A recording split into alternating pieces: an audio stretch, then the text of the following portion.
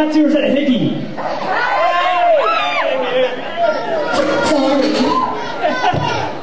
Sorry. What is this, man? It's like a Palooza training or something?